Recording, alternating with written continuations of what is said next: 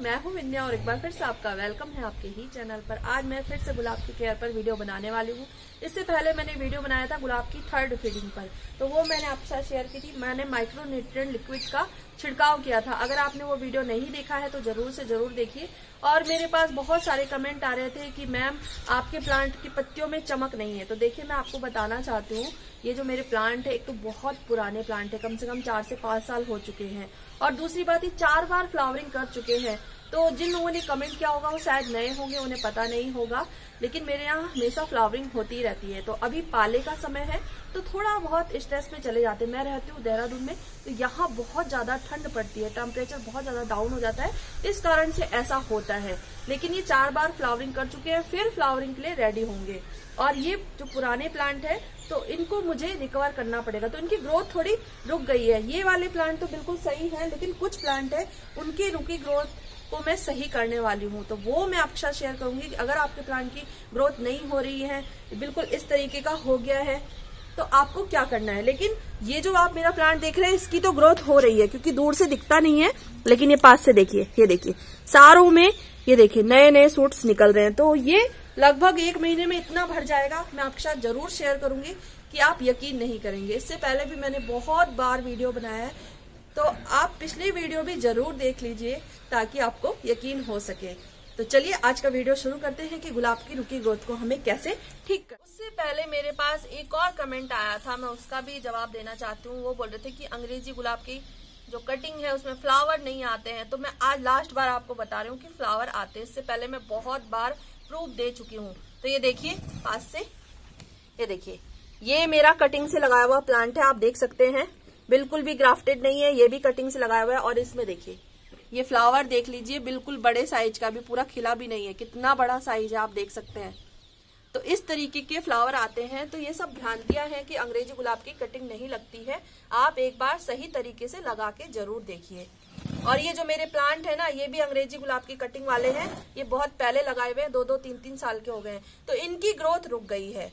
तो इसको मुझे ठीक करना है। वो इस कारण से हुआ है, एक तो ये छोटे गमले में लगे हुए हैं। जब भी आप गुलाब का पौधा लगाते हैं ना तो कम से कम चौदह इंच का पॉट ज़रूर होना चाहिए। जो मैंने आपको दिखाए, जो मेरे चार से पाँच साल वाले प्लांट है, सब चौदह चौदह इंच में लगे हुए हैं। और पाँच साल हो गए मुझे रिपोर्ट करने की ज़रूरत नहीं पड़ी है। चार साल बाद अब मुझे महसूस हो रहा है कि उन्हें अगले साल मुझे उनकी रूट बाउंड जो हो चुकी है, उसको कट करके मुझे रिपोर्ट करना पड़ेगा। तो अभी तो बिल्कुल परफेक्टली अच्छे से चल रहे हैं, कोई प्रॉब्लम नहीं है। तो चौदह इंच का गमला ज़रूरी है। तभी इसकी भी ग्रोथ होगी। अगर मैं इसको बड़े पॉट में लगाती तो बहुत ज़्यादा हेल्दी होता।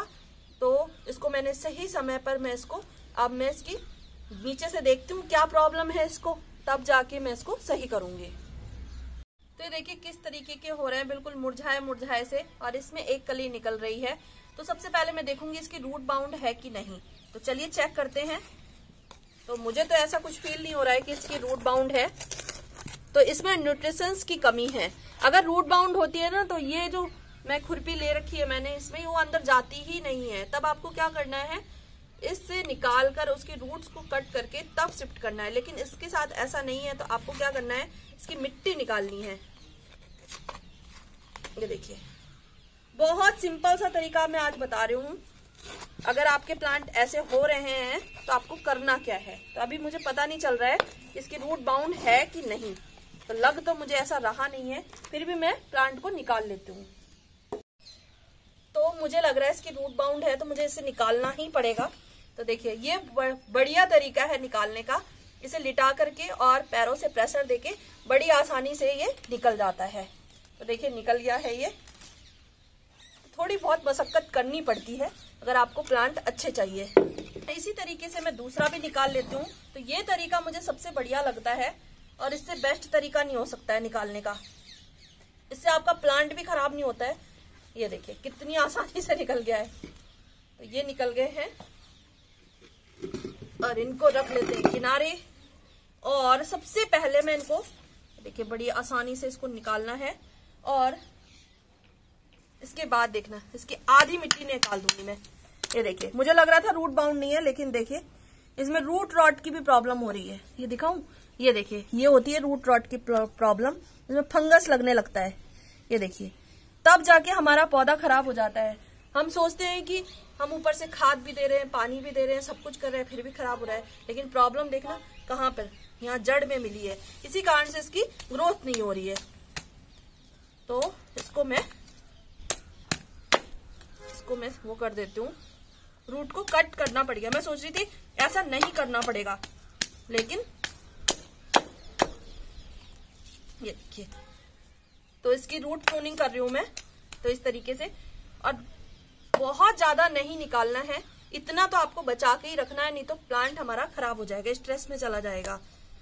ये देखिए, ये थी इसकी रूट्स ये जो धीरे धीरे प्लांट को खराब कर देती। काफ़ी बड़ी हो चुकी थी, इसी वजह का चौदह इंच का गमला बहुत ही ज़्यादा ज़रूरी है। बहुत ही छोटी छोटी जानकारी है, लेकिन इम्पोर्टेंट है। अगर आप चाहते हैं कि आपका गुलाब का पौधा बहुत अच्छी तरीके से रिकवर करे तो इसको भी हटा लेती हूँ मैं। आप चाहे तो कैंची की मदद से भी कर सकते हैं। तो देखिए, एक हमारा ये हो गया। इतना आपको बिल्कुल नहीं छेड़ना है। अगर इस, ये हट गया तो समझ लो हमारा प्लांट मर गया। और दूसरे को भी मैं इसी तरीके से हटा लेती हूँ। इसकी भी हालत देखते हैं। एक तो इसमें कांटे इतने होते हैं ना, कि उलझ जाते हैं। ये देखिए, इसका भी यही हाल है। ये देखिए। तो इनको कट कर देती हूँ मैं। इस तरीके से। आप चाहें तो प्रूनर से भी काट सकते हैं, लेकिन इस तरीके से मैं काट लू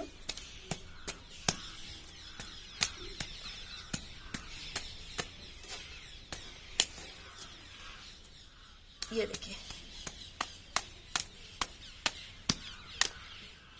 जो नहीं कट रहा है, उसको प्रूनर से काट देती हूँ मैं। तो कट नहीं रहा था।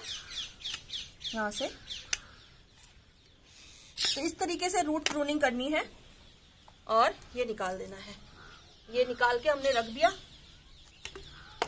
और इसके बाद आपको क्या करना है, ये जो मिट्टी है, इसमें से जो रूट्स हैं, उनको हटा देना है।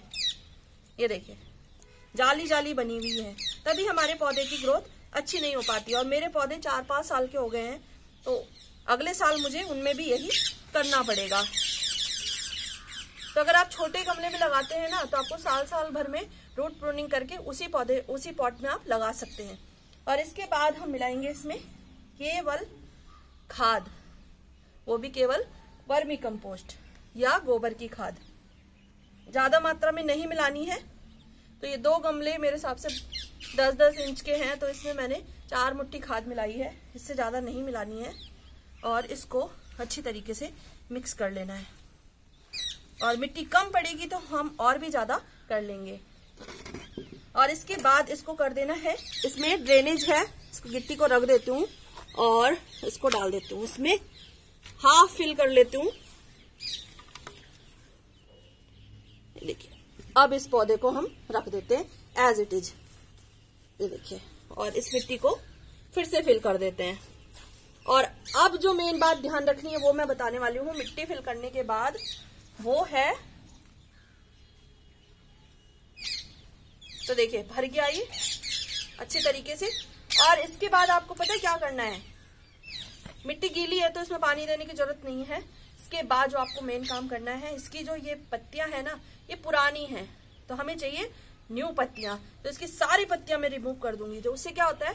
प्लांट अपने आप फोर्स लगाता है।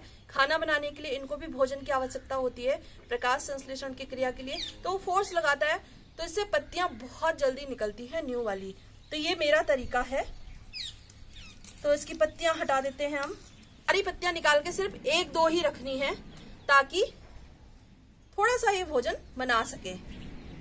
और बाकी सारी पत्तियाँ आपको रिमूव कर देनी है। ये देखिए तो मैं कटर से ही काट लेती हूँ। ये देखिए। अगर आपके प्लांट की ग्रोथ नहीं हो रही है, बहुत पुराना हो गया है तो आपको ये काम करना है। और इसके बाद ये स्ट्रेस में चला गया है तो इसके बाद हमें इसे रिकवर करने के लिए थोड़ी बहुत दवा भी देनी पड़ेगी। तो सारी पत्तियाँ पहले मैं रिमूव कर लेती हूँ। इस तरीके से मैंने एक प्लांट को कर लिया है। अब मैं दूसरे वाले प्लांट को भी इसमें लगा लेती हूँ फिर आगे का प्रोसीजर आपको तो बता के दोनों पौधे मैंने इसी तरीके से कर लिए हैं और इसकी पत्तियाँ पहले से ही नहीं थी एक दो हैं उनको मैं निकाल देती हूँ। तो ये देखिए, उसी तरीके का हो गया। इसके बाद आपको लेना है एक बॉटल में पानी और ये बॉटल है आधा लीटर की। तो इसको मैं फिल कर लेती हूँ। और जो अब आपको फीडिंग करानी है ना, इस तरीके की रिपोर्टिंग करने के बाद रूट बाउंड प्लांट की तो उसके बाद लेना है आपको, ये देखिए एनपीके 19 19 19 ये बैलेंस्ड फर्टिलाइज़र है, इसमें नाइट्रोजन पोटेशियम और फास्फोरस है। तीनों समान मात्रा में है। तो ये पौधे के शुरुआती ग्रोथ के लिए बहुत ज़्यादा अच्छा है। इससे पत्तियाँ बहुत ही चमकदार निकलती हैं, जल्दी निकलती हैं और पौधे की बढ़वार बहुत जल्दी अच्छी से होती है। तो ये लेना है आपको। और तो देखिए, एनपीके 19 19 का मैंने, ये देखिए, आधा चम्मच से भी कम मैंने आधा लीटर में लिया है। एक चौथाई चम्मच लिया है और इसको अच्छी तरीके से हम मिला लेंगे। अच्छी तरीके से मिल जाए ये। और इसको कैसे देना है वो मैं आपके साथ शेयर कर देती हूँ। जब इस तरीके का काम आप करते हैं तो ये फर्टिलाइज़र आपको देना है। तो सबसे पहले तो आपको इसका स्प्रे करना है अपने प्लांट पर। ये देखिए। ये देखिए। इस तरीके का और इस भी कर देती हूँ मैं। और जो बचा हुआ है, उसको कराना है फ़ीड अपने प्लांट को। ये देखिए। तो आधा मैं इसमें दे दूँगी, आधा इसमें दे दूँगी। ये देखिए। और पंद्रह दिन तक आपको इसमें कोई भी और फर्टिलाइज़र नहीं देना है और मात्रा का आप ध्यान रखें। कम ज़्यादा हो जाती, कम हो जाए, चल जाएगा, लेकिन ज़्यादा हो जाती है तो पौधा हमारा बर्न होने लगता है। और मेरे पास और भी बहुत सारे कमेंट आते हैं जो हमारे व्यूवर हैं, उनको पता नहीं रहता है कितना देना है, कितना नहीं। बल्कि मैं मेज़रमेंट हमेशा बताती रहती हूँ। तो उसके बावजूद वो बोलते हैं, हमारे प्लांट बर्न हो गए तो या तो आपने बहुत ज़्यादा दे दिया होगा। क्योंकि वही चीज़ें मैं अपने यहाँ भी मतलब फ़ीड कराती हूँ तो ऐसा कोई प्रॉब्लम नहीं आती है। तो आप देख लीजिए मेज़रमेंट का ध्यान रखिए। तो ये करना है आपको। और इसके अलावा मेरे पास कमेंट आया था कि, मैम अभी हमें दिसंबर में फ़र्स्ट फीडिंग देनी है सेकंड फीडिंग देनी है थर्ड फीडिंग देनी है। देखिए, जब न्यू प्लांट आप लगाते हैं, उसका मेथड मैंने अलग बताया हुआ है कि नर्सरी से लाए प्लांट को हमें कैसे लगाना है। दूसरा मेथड ये है, जब हम रूट बाउंड प्लांट को शिफ्ट करते हैं तो उसको इस तरीके से करना है। और मैंने फ़र्स्ट और सेकंड फीडिंग बताई हुई ड्राई मिक्सचर बनाया था और एक लिक्विड फर्टिलाइज़र बनाया था। तो वो आप दे सकते हैं सेकंड फीडिंग में। और थर्ड फीडिंग में माइक्रोन्यूट्रिएंट लिक्विड का मैंने आपको स्प्रे कराया था, वो सूक्ष्म पोषक तत्वों का स्प्रे जो अपने प्लांट पर करा था, वो बहुत ही ज़्यादा अच्छा रहता है। तो अलग अलग चीज़ें हैं अलग अलग टाइम पर। तो वो सारी चीज़ें मैं आज आपको लिंक जो है उसका डिस्क्रिप्शन में डालने वाली हूँ, उसमें लिख भी दूँगी कि फ़र्स्ट सेकेंड थर्ड फीडिंग कैसे देनी है आपको। और और एक और बात कहना चाहती हूँ आप कहीं और से भी वीडियो देखते हैं, उनका तरीका अलग होता है फ़ीड कराने का।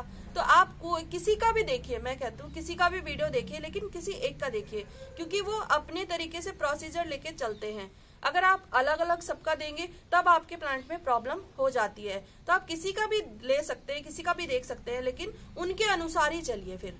चाहे आप मेरे अनुसार चलिए, मेरे वीडियो देखिए तो शुरू से लास्ट तक मेरे तरीके से ही काम करिए। अगर किसी और का देख रहे हैं तो उनके तरीके से काम करेंगे, तब आपका प्लांट बहुत अच्छे से चलेगा। तो ये था मेरा तरीका, और पंद्रह दिन बाद मैं इसमें फर्टिलाइज़र ऐड करूँगी।